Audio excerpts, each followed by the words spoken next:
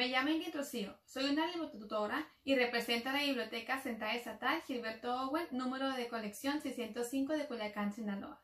Formo parte de la campaña Viralicemos la Lectura y como parte de la Estrategia Nacional te ayudaré con tus tareas. En este video veremos cómo realizar una infografía en inglés, que forma parte de la unidad 7, parte 1, del libro de inglés de segundo de secundaria.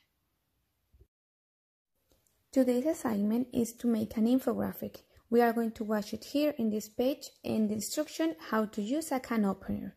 An infographic is used usually when you have to make some instructions. You put pictures and small text to describe what you are going to do.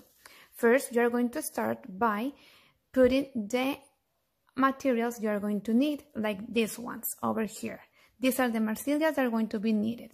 In the next part, you are going to describe these steps. Number one, two, 3 and you go along till number 8. Number of steps depends of what you are going to explain and how many steps you are going to be needing.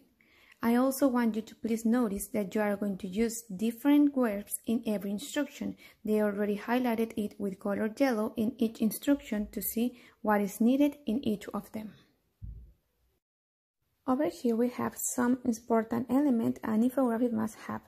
It says over here, small text and instructions, pictures that represent the instructions, lines from the pictures to the names of the parts of the machines or device, pictures with those up to see the details, and the last one, arrows or numbers to indicate the order of steps.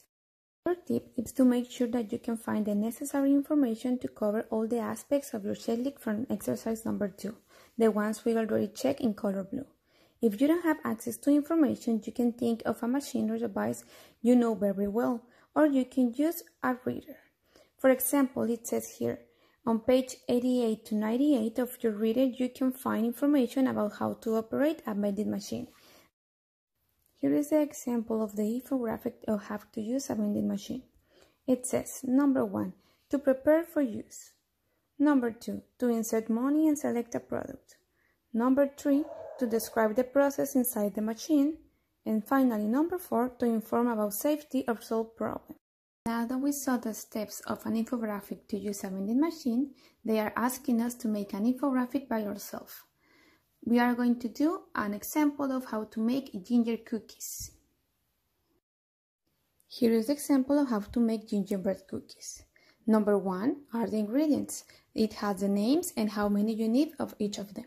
Number two, start with instructions. It tells you how to heat the oven and where to put it. In number three, the only words are mix until crumble because you can see in the pictures what are you going to do. Number four, they are going to tell you what to add with the names and the instruction is mix until dough is firm. In number five, they are telling you to put the dough on the plate and to put it along and then to make sure your tray is well greased. And finally, number six, to put the cookies in the oven, wait the time correctly and your cookies are done. Gracias por la atención a nuestros videos. Esperemos que te sean de gran ayuda. Si tienes alguna pregunta, no dudes en buscarnos.